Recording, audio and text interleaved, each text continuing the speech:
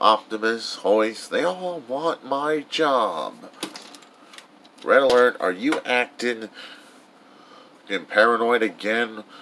I'm gonna have to take you to Ratchet to get a, your logic chips checked on. Come on, Red, we're gonna get you checked out. But Inferno, you heard me. You heard me, Red. Sorry about that, people.